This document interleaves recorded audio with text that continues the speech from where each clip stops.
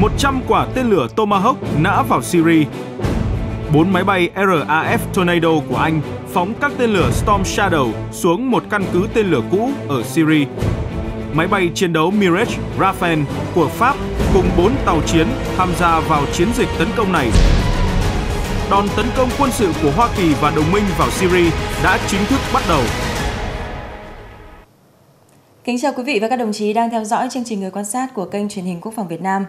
Thưa quý vị và các đồng chí, tên lửa Hoa Kỳ đã xé toạc bầu trời đêm Syria, mở màn cho chiến dịch quân sự tấn công vào quốc gia Trung Đông này.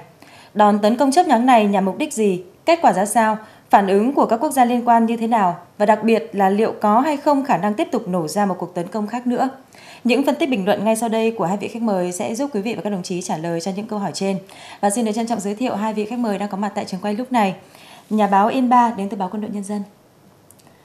và tiến sĩ Lê Đình Tĩnh đến từ Học viện Ngoại giao Bộ Ngoại giao. À, xin được cảm ơn hai ông đã nhận lời tham gia chương trình ngày hôm nay. Trước hết thì xin kính mời quý vị và các đồng chí, chúng ta hãy cùng nhìn lại ờ, cuộc tấn công quân sự của Hoa Kỳ và đồng minh nhằm vào Syria hôm 14 tháng 4 vừa qua. Một cuộc tấn công phối hợp cùng các lực lượng vũ trang của Pháp và Anh đang được tiến hành. Chúng tôi xin cảm ơn cả hai quốc gia này.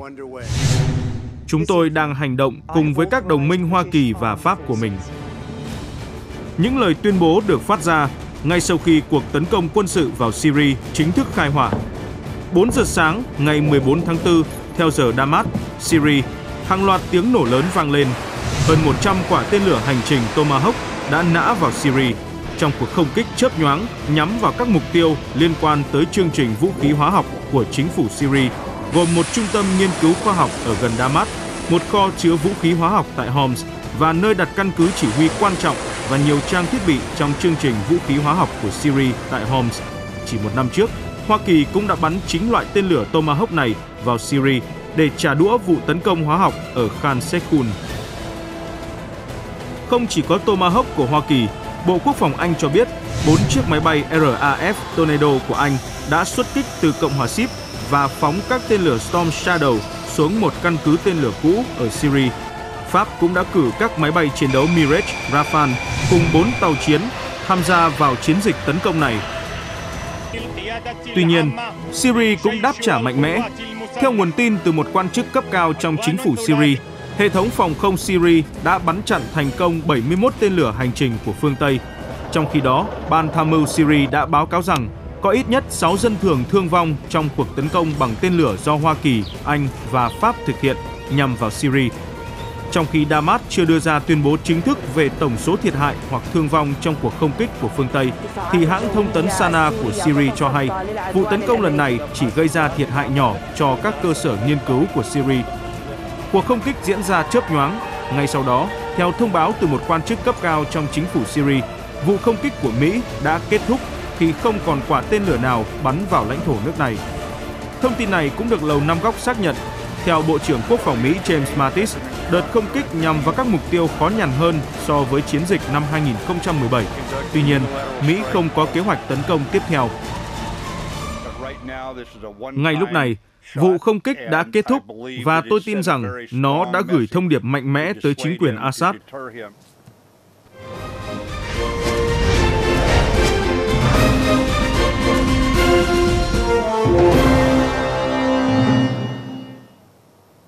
Vâng, thưa tiến sĩ Lê Đình Tĩnh, theo ông thì ờ, do đâu khi mà Tổng thống Hoa Kỳ Donald Trump đã để ngỏ cái khả năng tấn công Syria thì bất ngờ vào hôm 13 tháng 4 vừa qua theo giờ của Hoa Kỳ thì uh, Tổng thống Donald Trump đã ra lệnh cho quân đội Hoa Kỳ tấn công chính xác vào Syria? Về mặt thời điểm mà tấn công quân sự thì chúng ta biết rằng là thông thường họ chọn những cái giải pháp có tính bí mật và tạo ra yếu tố bất ngờ. Thành ra chúng ta không ngạc nhiên khi mà phía Hoa Kỳ tuyên bố để ngỏ xong rồi lại bất ngờ tấn công để tạo ra yếu tố bất ngờ trong quân sự nhưng tôi nghĩ rằng nó còn có cả những cái yếu tố khác đằng sau cái thời điểm mà tổng thống Mỹ quyết định tấn công vào cái lúc này. À, có thể đó là cái sự bế tắc ở trong cái quá trình đàm phán à, liên quan đến tình hình Syria. Cũng có thể đó là có cái sự à, dàn xếp nào đó à, giữa các quốc gia có liên quan à, và họ đạt được những cái nhất trí để có thể tiến hành cuộc tấn công. Kể cả cái tin cho rằng là phía Mỹ và Nga cũng có đạt được cái sự à, nhất trí với nhau nhất định trong cái việc là sẽ tránh cái sự đụng độ trực tiếp. À, chúng ta cũng biết rằng là cái thời điểm tấn công này nó cũng diễn ra đúng vào cái lúc mà cái quan hệ giữa Mỹ, Nga và phương Tây à, đang diễn ra rất là căng thẳng, đúng không ạ? Liên quan đến rất nhiều vấn đề à, và cho tôi cho rằng là những cái những cái tính thời điểm như vậy nó đã dẫn đến một cái quyết định của tổng thống uh, Mỹ để tấn công vào Syria. Vâng, cảm ơn tiến sĩ Lê Đình Tĩnh. À, thưa nhà báo Yên Ba, à, ông nhận định như thế nào về tính chất cũng như là cường độ của các cái đòn tấn công của Hoa Kỳ nhằm của Hoa Kỳ và đồng minh nhằm vào Syria trong hôm 14 tháng 4 vừa qua? Về mặt cường độ thì nếu như so sánh với lại cái vụ tấn công vào ngày mùng 6 tháng 4 năm ngoái cũng với một cái lý do tương tự là vũ khí hóa học à, mà phía Syria sử dụng ở Kham Sheikhun thì à, như Bộ Quốc phòng Mỹ tuyên bố là gấp đôi. Thì tôi thấy rằng về mặt số lượng là đúng là cũng gần gấp đôi. Theo con số chính thức thông báo là năm 103 quả Tomahawk đã được phóng vào, à, vào Syria vào dạng sáng ngày 14 theo giờ Việt Nam cái vụ tấn công năm ngoái là 59 quả. Tức là về mặt con số thì cũng gần gấp đôi. Với các mục tiêu thì tôi nghĩ là cũng tương tự. Khi mà một loạt các cái, cái cơ sở uh, của Syria đã bị tấn công chủ yếu là ở thủ đô Damas và ở thành phố Homs. nhưng mà lần này thì liên quân đặc biệt uh, nhằm vào các cái mục tiêu dính dáng đến không quân. Các hầm chứa máy bay các uh, sân bay máy bay các cái kho đạn dược và tất nhiên cả các cái cơ sở mà Mỹ cũng như đồng minh quy kết rằng là uh, nghiên cứu vũ khí hóa học. Thế còn um, về mặt uh, uh, tính chất thì tôi nghĩ rằng là cũng giống như cuộc uh, vụ tấn công năm ngoái. Đây cũng là tấn công theo như Bộ trưởng Quốc phòng Mỹ Jim Mattis tuyên bố là đây là tấn công một lần, one time shot tức là tấn công một lần. Có nghĩa rằng là tấn công sau đó chấm dứt, còn những diễn biến tiếp theo thì là tùy phụ thuộc vào quyết định của các nhà chính trị tôi nghĩ rằng là nó có những cái điểm tương đồng nhưng cũng có những cái sự khác biệt giữa hai cái vụ tấn công cách nhau tròn một năm ở Syria. Ừ, vâng, cảm ơn nhà báo Inba.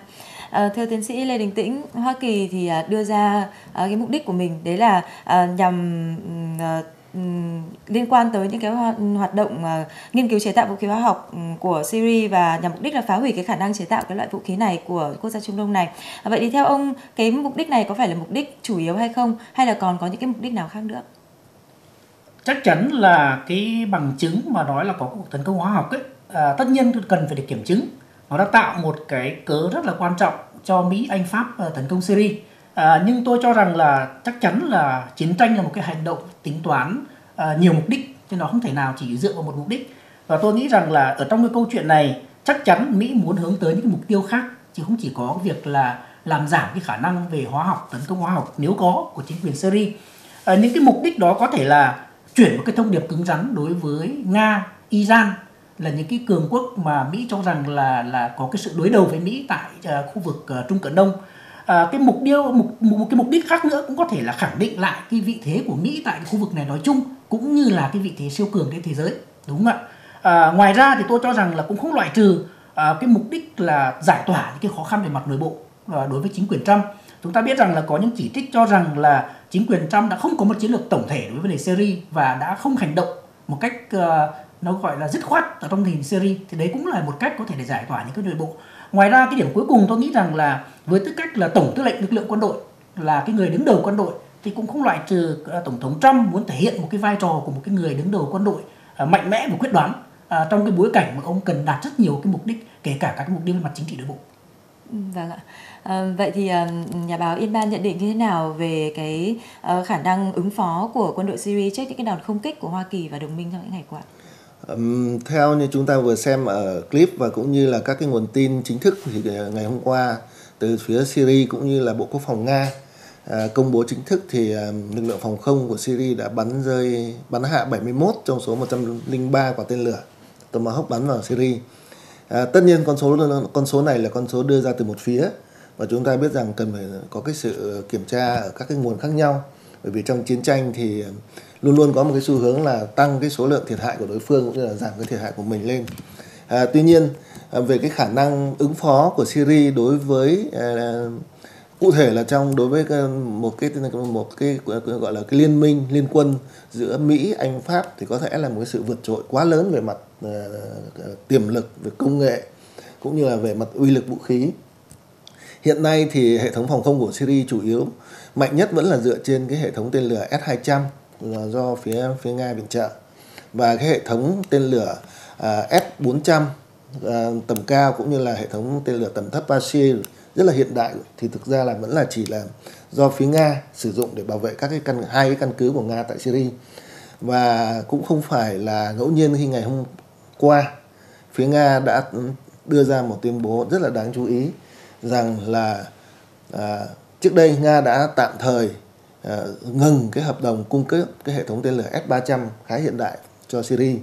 nhưng trong tình thế hiện nay đấy là theo lời của phía Nga trước cái tình thế mà Syria bị tấn công ngày hôm qua thì Nga đang xem xét có thể sẽ nối lại cái việc cung cấp cái hệ thống S-300 này cho Syria và nó sẽ tăng cường cái năng lực phòng không của Syria trước những cái đòn tiến công có thể có trong tương lai. Tôi nghĩ đó là một trong những cái diễn biến rất đáng chú ý. Vâng, cảm ơn nhà báo Yên Ba. À, thưa tiến sĩ Lê Đình Tĩnh, sự việc vừa rồi khiến cho người ta liên tưởng đến à, cuộc chiến tranh tại Iraq vào năm 2003 cũng với cái cớ là vũ khí hóa học. À, ông bình luận như thế nào về điều này và cơ sở nào cho cái sự liên tưởng đấy? chúng ta thấy rằng là các bên đều đưa ra cái lập luận của mình đúng không ạ ngay cả về phía pháp anh cũng cho rằng là họ đã có cái bằng chứng à, trong khi đó thì thì phía của nga và syria thì cho rằng cái bằng chứng này là không xác thực thì tất cả cái câu chuyện về bằng chứng này tôi nghĩ cần phải được kiểm chứng. Chẳng hạn trong đó có cái vai trò rất là quan trọng của cái tổ chức cấm vũ khí hóa học. Hiện nay cũng đang à, tiến hành các cái nhiệm vụ của mình tại à, cái Duma tức là cái khu vực mà được cho là đã tấn hành thì xảy ra cái vụ tấn công vũ khí hóa học đó. À, tôi nghĩ rằng là đã không có ít lần trong lịch sử là cái vai trò của hội đồng bảo an liên hợp quốc bị bỏ qua trong đó có cả cái sự cố năm 2003 à, ở đây nó còn cái câu chuyện là cũng có thể là có sự tôn trọng hay không đối với hội đồng bảo an, nhưng mà cái câu chuyện quan trọng không kém là thực sự là nếu cái vấn đề này đưa ra hội đồng bảo an thì chưa hẳn mỹ đã đạt được cái sự nhất trí, đúng không ạ? Như vậy người ta đã chọn cái giải pháp là không sử dụng đến cái cơ chế của cái cơ quan này. Điều này nó cũng liên tưởng tôi đến một những hai cái cạnh khác. Cái cạnh thứ nhất là tất nhiên chúng ta đã nói ở trên là trong hành động quân sự thì họ muốn nhanh và bất ngờ, đúng không ạ? Họ cũng phải chờ cả cái quy trình của thủ tục. Nhưng ở đây nó còn có cái câu chuyện thứ hai, sâu xa hơn là cái vai trò và vị thế của các tổ chức và luật pháp quốc tế. Chúng ta biết rằng là trong luật pháp quốc tế thì không có cái cơ chế, cưỡng chế thi hành, đứng trên trên các quốc gia. Và làm cho đôi lúc là các quốc gia không thực sự là tôn trọng và thực thi các cái quy tắc của luật pháp quốc tế. Hay nói cách khác là chúng ta thấy có cái sự va chạm giữa cái nền chính trị thực tiễn và nền chính trị chuẩn tắc mà mà chúng ta mong muốn. Đôi lúc cái điều đó xảy ra không như chúng ta mong muốn, như cái quy định của luật pháp quốc tế, như những cái yêu cầu của các thể chế đa phương và chúng ta đã thấy là đã có những cái sự cố đáng tiếc như vậy Vâng cảm ơn tiến sĩ Lê Đình Tĩnh. À, thưa nhà báo Yên Ba, chúng ta cũng biết rằng là năm 2013 thì Syria đã thực hiện cái cam kết là hủy bỏ hoàn toàn cái vũ khí hóa học dưới cái sự giám sát và kiểm chứng của tổ chức uh, cấm vũ khí hóa học và trên cơ sở đó thì Hội đồng Bảo an Liên Hợp Quốc cũng đã nhất trí thông qua một nghị quyết về Syria mà Hoa Kỳ cũng ủng hộ đấy là bất cứ sự can thiệp quân sự nào từ bên ngoài vào Syria liên quan tới vũ khí hóa học thì chỉ được tiến hành sau khi có kết quả điều tra xác minh của Liên Hợp Quốc. Vậy theo ông vì sao Hoa Kỳ là thành viên của Hội đồng Bảo an Liên Hợp Quốc lại uh, không tuân thủ nghị quyết này? À, chúng ta đã từng chứng kiến là trong quá khứ, trong lịch sử đã có rất nhiều nghị quyết của Liên Hợp Quốc đã không được tuân thủ và không chỉ ở Syria, rất nhiều nghị quyết liên quan đến các cái khu vực khác. À, còn liên quan đến vấn đề Syria thì tôi tiện một cái lý do rất đơn giản, dễ hiểu là một cái nghị quyết cho phép mà chúng ta có thể gọi là cấp phép của Liên Hợp Quốc cho uh, Ờ, bật đèn xanh để tấn công Syria là điều hầu như là không thể. Bởi vì uh, các thành viên của Hội đồng Bảo an trong đó có Nga, có Trung Quốc và có Mỹ, Anh, Pháp đều có một cái quyền vô cùng quan trọng là quyền phủ quyết. Và một nghị quyết như vậy thì ờ, chúng ta có thể hình dung là, là không thể nào mà được, được thông qua tại Hội đồng Bảo an. Bản thân ngay trước khi vụ tấn công ngày 14 diễn ra thì đã có tới 3 dự thảo nghị quyết, trong đó có hai của Nga, một của Mỹ đã được đưa ra và đều cũng đã không được thông qua và cũng đều liên quan đến vấn đề là điều tra cái cái nghi án được gọi là có sử dụng vũ khí hóa học ở Duma cho nên là cái điều dễ hiểu rằng là một nghị quyết như vậy là sẽ không có. Cho nên là cũng như là trước đây à, Mỹ đã từng phải thuyết phục hội đồng bảo an bằng những cái bằng chứng ngụy tạo để có được một cái sự cấp phép cho chiến dịch ở Iraq. Thì lần này khó có thể có được một cái lần thứ hai. Và cho đó giống như anh Tĩnh đã phân tích thì việc Mỹ muốn đạt các cái mục tiêu khác ngoài mục tiêu là bất ngờ rồi à, gây bất ngờ hoặc là à, chứng tỏ rằng là mình được quyền lãnh đạo và được quyền chủ động thực hiện các cái, cái cuộc tấn công thì tôi cho rằng là cả Mỹ cũng như là các đồng minh của mình đã quyết định uh, tấn công Syria mà không cần có sự chuẩn thuận của Hội đồng Bảo an Liên Hợp Quốc. Tôi nghĩ đấy là một cái điều hoàn toàn có thể dễ hiểu. Vâng ạ, xin cảm ơn nhà báo Yên Ba và tiến sĩ Lê Đình Tĩnh. Thưa quý vị và các đồng chí, có thể thấy đây là lần thứ hai mà Hoa Kỳ tiến hành tấn công quân sự với Syria dưới thời của Tổng thống Donald Trump. Và cũng giống như cuộc tấn công quân sự cách đây một năm bằng việc bắn 59 quả tên lửa vào căn cứ quân sự của Syria tại Homs, thì lần này hành động của Hoa Kỳ cũng vấp phải sự phản đối của chính người dân xứ sở Hoa Kỳ ờ, cũng như là người dân trên thế giới. Ờ, trước khi trao đổi với hai vị khách mời thì chúng ta sẽ cùng theo dõi clip sau đây ờ, về phản ứng của cộng đồng quốc tế ra sao trước sự việc trên. Cuộc không kích của Hoa Kỳ, Anh và Pháp nhằm vào Syria đang nhận được sự phản ứng trái chiều từ các nước. Tổng thư ký NATO Jens Stoltenberg đã lên tiếng ủng hộ chiến dịch tấn công của Hoa Kỳ, Anh và Pháp nhằm vào các cơ sở vũ khí hóa học của Syria. Ông Stoltenberg cho rằng hành động quân sự này sẽ giúp giảm khả năng chính quyền Syria sử dụng vũ khí hóa học. Thủ tướng Canada Justin Trudeau cũng khẳng định sự ủng hộ mạnh mẽ đối với cuộc tấn công nói trên của Hoa Kỳ, Anh và Pháp Ông Trudeau nhấn mạnh rằng Canada sẽ tiếp tục làm việc với các đối tác quốc tế để tiếp tục điều tra về hành vi sử dụng vũ khí hóa học ở Syria. Mặc dù vậy, nhiều quốc gia cũng đã lên tiếng bày tỏ quan ngại trước chiến dịch quân sự của Hoa Kỳ và đồng minh nhằm vào Syria, khi nó có thể làm lu mờ triển vọng hòa bình đang có cơ hội đến với quốc gia Trung Đông này sau hơn 7 năm nội chiến, cũng như kéo theo nguy cơ của một cuộc chiến toàn diện giữa các cường quốc có liên quan. Tổng thư ký Liên Hợp Quốc Antonio Guterres kêu gọi các quốc gia liên quan kiềm chế và tuân thủ hiến trương của Liên Hợp Quốc và luật pháp quốc tế về vấn đề Syria. Ông Guterres cũng kêu gọi các quốc gia thành viên của Hội đồng Bảo an Liên Hợp Quốc hướng đến việc đạt được một thỏa thuận thành lập cơ chế quản lý những bên sử dụng vũ khí hóa học. Tổng thống Nga Vladimir Putin đã lên án vụ tấn công này của Hoa Kỳ, Anh và Pháp nhằm vào Syria. Theo ông Putin, Hoa Kỳ đã hành động gây hấn chống lại một đất nước có chủ quyền đang đấu tranh cho cuộc chiến chống khủng bố trên chính quê hương họ và rằng vụ tấn công này sẽ chỉ làm trầm trọng thêm vấn đề nhân đạo, gây nên đau khổ cho người dân Syria. Đại sứ Nga tại Liên Hợp Quốc Anatoly Antonov ngay lập tức đã bày tỏ sự thất vọng về cuộc không kích mà Hoa Kỳ và các nước đồng minh thực hiện tại Syria. Đại sứ Antonov cũng khẳng định, một quốc gia cũng sở hữu kho vũ khí hóa học lớn như Hoa Kỳ không có quyền đạo đức đổ lỗi cho các nước khác. Mặt khác, phát biểu tại một cuộc họp báo ở thủ đô Moscow, Ngoại trưởng Nga Sergei Lavrov cho biết Nga có bằng chứng cho thấy những cáo buộc về vụ tấn công hóa học ở thị trấn Duma của Syria đã được lên kế hoạch với sự trợ giúp của một cơ quan tình báo nước ngoài. Bộ Ngoại giao Iran cũng đã lên án hành động tấn công của Hoa Kỳ, Anh và Pháp, nói rằng Washington và các nước đồng minh sẽ phải chịu trách nhiệm chính cho những hậu quả tại khu vực này trong tuyên bố chính thức được đăng tải trên hãng thông tấn nhà nước Syria Sana, Bộ Ngoại giao Syria nhấn mạnh hành động khiêu chiến của Hoa Kỳ, Anh và Pháp sẽ chỉ làm leo thang căng thẳng trên thế giới và đe dọa an ninh quốc tế. Các cuộc không kích này sẽ không ảnh hưởng tới quyết tâm của quân đội Syria trong cuộc chiến chống phiến quân và giành lại quyền kiểm soát toàn bộ lãnh thổ từ tay lực lượng khủng bố. Ngay bản thân nội bộ trong chính quyền Hoa Kỳ, một số nghị sĩ đã lên tiếng chỉ trích Tổng thống Donald Trump phát động chiến tranh tại Syria khi chưa được sự cho phép từ Quốc hội. Một số nhóm nhỏ người dân Hoa Kỳ cũng đã tập trung bên ngoài Nhà Trắng với khẩu hiệu kêu gọi Hoa Kỳ dừng các vụ không kích nhằm vào Syria. Trong khi đó, tại chính những nơi phải hứng chịu cuộc dội bom của Hoa Kỳ, Anh và Pháp, hàng trăm người dân Syria đã tụ tập tại các quảng trường ở thủ đô Damas, giờ các biểu tượng chiến thắng, vẫy quốc kỳ Syria và cùng nhau hét lớn khẩu hiệu Chúng tôi là người của ông Bashar al-Assad những chiếc xe hơi gắn loa phóng thanh đã đổ xuống đường phố Damas và phát ra những bài ca yêu nước.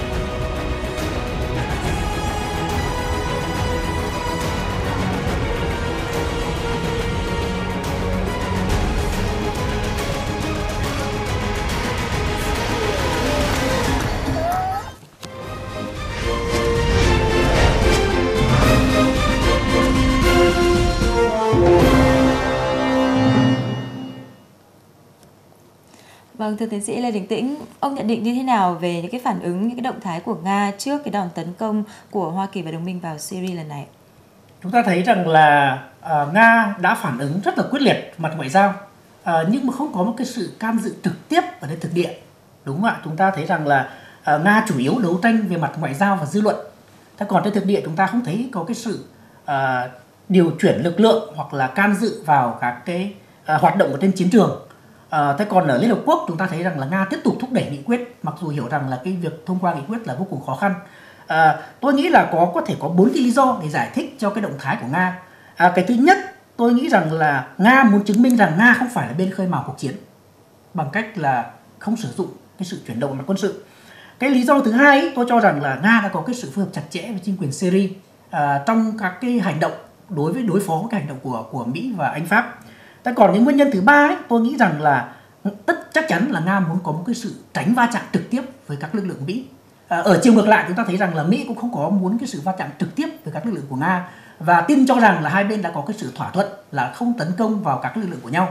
À, thế còn cái nguyên nhân cuối cùng tôi nghĩ vô cùng quan trọng ở đây là cũng có thể Nga đã đánh giá rằng là cái cuộc tấn công của Mỹ chỉ có tính chất hạn chế. Tức là cuộc tấn công không lan rộng ra trên toàn lãnh thổ Syria cũng như không có cái mục tiêu là khơi mào ra toàn khu vực hay là thế giới. Do vậy Nga đã chọn cái giải pháp là à, không tránh tránh một cái sự đụng độ trực tiếp ở trên thực địa và chủ yếu đấu tranh về mặt chính trị ngoại giao và dư luận. Ừ, vâng ạ. À, với những cái gì diễn ra trên thực địa thì theo nhà báo Inba trong thời gian tới đấy liệu có một cái cuộc tấn công quân sự nào nữa nhằm vào Syria không? Um, uh, ngay sau khi uh, cuộc tấn uh, tấn công diễn ra vào ngày 14 tháng 4 thì ờ, tham mưu trưởng liên quân Mỹ tướng ờ, Dunford có tuyên bố rằng là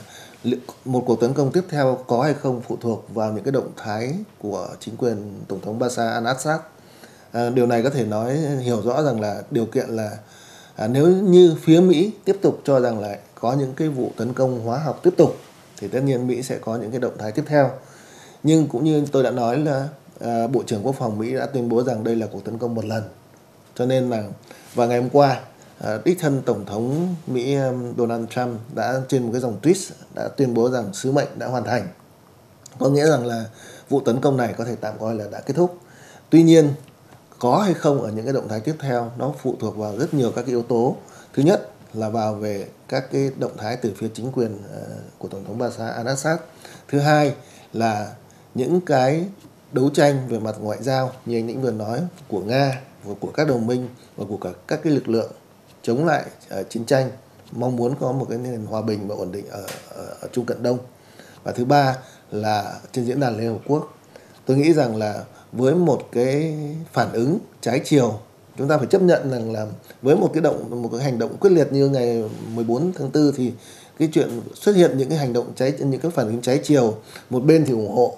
uh, hành động của Mỹ và liên minh và một bên phản đối quyết liệt là chuyện cũng có thể dễ hiểu thì tôi nghĩ rằng là tất cả những cái đó nó sẽ tác động đến các cái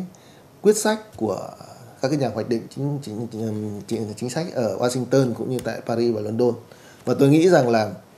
những cái động thái tiếp theo theo tôi hiểu là khó có thể có thêm một cái động thái quyết liệt như ngày hôm qua. Và theo tôi thì vụ tấn công ngày 14 tháng 4 mang tính biểu tượng là chủ yếu nó đã hoàn thành cái sứ mệnh của nó. Và tôi nghĩ rằng là cái bước tiếp theo là các bên cần ngồi với nhau và có lẽ sẽ tìm ra được một cái giải pháp chính trị. Bản thân bà thủ tướng anh Theresa May ngày hôm qua cũng đã công khai tuyên bố muốn hợp tác với nga để tìm ra một giải pháp chính trị. Từ đó tôi nghĩ đó là cái, cái hướng tiếp theo xung quanh à, tình hình Syria. Vâng, và đó cũng là điều mà chúng ta rất mong, rất mong muốn, đúng không ạ? Vâng. Chắc chắn như vậy. Vâng, cảm ơn nhà báo Inba. Và thưa tiến sĩ Lê Đình Tĩnh, có thể thấy là những gì diễn ra trên thực địa và uh, những cái tuyên bố của các uh, nước liên quan thì nó đều tiềm ẩn những cái yếu tố bất ngờ. Đặc biệt là sự việc vừa rồi cũng đã chứng minh cho điều đó. Uh, vậy thì trước những cái yếu tố bất ngờ như vậy thì uh, theo ông Nga sẽ có những cái tính toán như thế nào trước cái tình hình hiện nay? Tôi nghĩ là nga sẽ tiến hành à, bốn năm cái bước như này à, ngay sau cái vụ việc à, chúng ta vừa mới à, chứng kiến vừa qua. À, thứ nhất là về mặt ngoại giao. Thì à, tôi nghĩ trong ngoại giao ấy thì nga có thể tiến hành qua ba cái kênh chính. Cái kênh thứ nhất là kênh ngoại giao song phương với các bên có chủ chốt và không loại trừ có cả cái kênh đàm phán với mỹ dù là công khai hay bí mật đúng không ạ? À, cái kênh thứ hai tôi nghĩ rằng là tiếp tục đấu tranh qua cái kênh liên hợp quốc và tất nhiên là trong đó có cả vai trò của cái tổ chức cấm vũ khí hóa học thì đó là một cái kênh nga sẽ đẩy rất mạnh trong thời gian tới. Và cái kênh thứ ba là tôi nghĩ rằng là nga sẽ tiếp tục thúc đẩy cái tiến trình hòa hợp hòa giải dân tộc Sochi à, do nga dẫn dắt. À, trong thời gian qua thì cũng đã đạt được một số cái kết quả và tôi nghĩ rằng nga sẽ tiếp tục đẩy theo cái kênh này. Thế còn cái bước thứ hai là tôi cho rằng nga tiếp tục duy trì cái sự răn đe mặt quân sự. Tôi cho rằng nga vẫn tiếp tục duy trì cái sự hiện diện của quân sự tại đây. À, không loại trừ có kể cả cái việc tăng cái số lượng vũ khí chế tài à, tại Syria à, cũng như các cái khu vực lân cận thế còn cái biện pháp uh, thứ ba ấy tôi nghĩ rằng là nga sẽ tiếp tục hậu thuẫn cái chính quyền Syria về mọi mặt về đặc biệt là về mặt chính trị và quân sự thì tôi nghĩ rằng đấy là một cái hướng mà Nga sẽ làm. Thế còn cái điểm thứ tư ấy, tôi cho rằng là Nga có thể đánh giá lại và hoàn thiện tiếp cái chiến lược của Nga đối với khu vực Trung Cận Đông. Đó là một cái việc cần thiết sau cái hành động bất ngờ vừa qua của Mỹ. Và cái điểm cuối cùng uh, có thể Nga sẽ đánh giá lại cái quan hệ của Mỹ à, với Mỹ và phương Tây. Vì chúng ta thấy rằng là cái quan hệ này nó đã không thuận lợi trong cái thời gian vừa qua và cũng gây khó khăn cho cả không chỉ về uh, tất nhiên là khó khăn cho cả phía Mỹ nhưng cũng khó khăn cho cả phía Nga. Thì tôi cho rằng Nga có thể xem xét lại mối quan hệ này để tìm những cái biện pháp tháo gỡ và quản trị để không để quan hệ này đi thêm xấu hơn nữa không để manh nha xuất hiện một cái trạng thái mà gần đây các nhà phân tích gọi là chiến tranh lạnh mới xảy ra trong cái quan hệ giữa Mỹ và Nga thì tôi cho rằng đó là những biện pháp mà Nga có thể tiến hành à, sau cái vụ việc vừa qua. Tôi có thể bổ sung thêm một chút rằng là hiện nay Nga phải đối mặt với một cái cuộc chiến tranh về thương mại, kinh tế với phương Tây thông qua các lệnh trừng phạt rất là khắc nghiệt. Nga đang phải đối mặt với một cuộc chiến tranh ngoại giao với việc hơn 150 nhà ngoại giao Nga bị trục xuất liên quan cái vụ đến điệp viên bị đầu độc ở Anh. Và chắc chắn Nga không muốn bị liên quan lôi kéo vào một cuộc đụng độ về mặt quân sự và tiếp tục bị cô lập ở Syria. Tôi nghĩ đấy là một ờ, như anh thì có phân tích thì hiện nay Nga ở trong một cái tình thế phải cân nhắc rất kỹ bởi vì cần phải tìm ra được các cái lối thoát cũng như là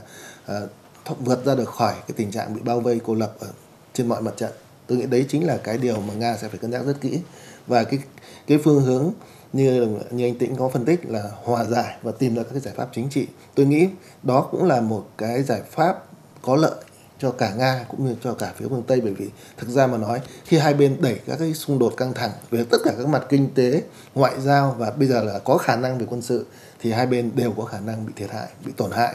và không không mang lại một cái lợi ích gì. Và tất nhiên là cái người thiệt thòi nhất vẫn là Syria nhân dân Syria đã trải qua 7 năm nội chiến khốc liệt với hàng trăm nghìn người bị mất bị bị chết và hàng triệu người phải phải phải đi di tản tôi nghĩ đấy là một trong những cái cái hệ lụy vô cùng thảm khốc của cuộc nội chiến xung quanh tình hình Syria. Vâng. À, đến thời điểm này thì tình hình cũng đã tạm lắng và đấy cũng là ừ, là cái thời điểm mà các bên cần phải ờ, có những cái sự ờ, bình tĩnh để có thể tính toán những cái bước đi tiếp theo cân nhắc trên cái lợi ích của mình cũng như là lợi ích của người dân Syria đúng không ạ? Vâng, xin cảm ơn nhà báo Yên Ba và tiến sĩ Lê Đình Tĩnh. Thưa quý vị và các đồng chí, ngay sau đợt không kích của Hoa Kỳ thì Tổng thống Syria Bashar al-Assad vẫn đến nhiệm sở làm việc bình thường. Trong khi đó thì người dân Syria đổ ra đường vừa để phản đối hành động quân sự của Hoa Kỳ, vừa để vui mừng trước việc là họ đã đánh chặn được phần lớn tên lửa mà Hoa Kỳ gọi là vũ khí chính xác. Dù có mất mát thương vong và thiệt hại, nhưng người dân Syria vẫn rất lạc quan. Họ có quyền được hưởng nhiều niềm vui và hạnh phúc hơn thế, vì không quá khi nói rằng người dân Syria đang là những người bất hạnh nhất khi mà ước mơ về hòa bình ổn định của họ vẫn còn xa vời, dù cho rất nhiều lần hy vọng ấy đã được thắp lên một cách mạnh mẽ và mong rằng tình hình sẽ hạ nhiệt nhanh chóng và các bên liên quan sẽ ngồi lại với nhau để tìm ra giải pháp chính trị, sớm chấm dứt cuộc khủng hoảng phức tạp kéo dài hơn 7 năm qua tại quốc gia Trung Đông này. À, chương trình người quan sát thì xin được dừng lại tại đây. À, cảm ơn quý vị và các đồng chí đã dành thời gian quan tâm theo dõi. Cảm ơn nhà báo Yên Ba và tiến sĩ Lê Đình Tĩnh đã tham gia chương trình này. À, xin kính chào và hẹn gặp lại quý vị và các đồng chí trong những chương trình người quan sát tuần sau.